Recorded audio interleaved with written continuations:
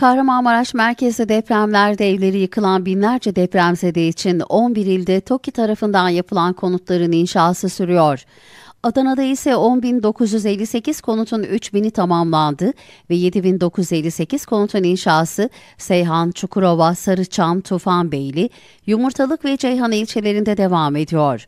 Projeler çerçevesinde kurası çekilen ve hak sahiplerine teslim edilen evlerde yaşam başladı.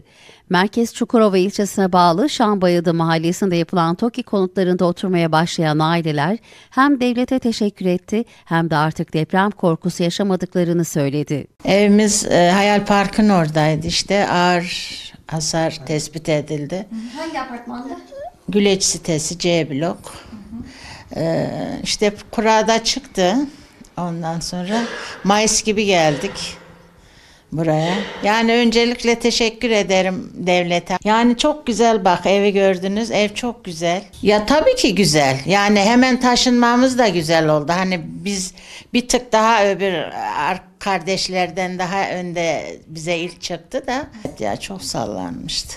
Adana'da 10.271 tane binamız şu anda e, kimileri bitti, kimileri bitmek üzere, kimileri e, birkaç ay sonra bitecek.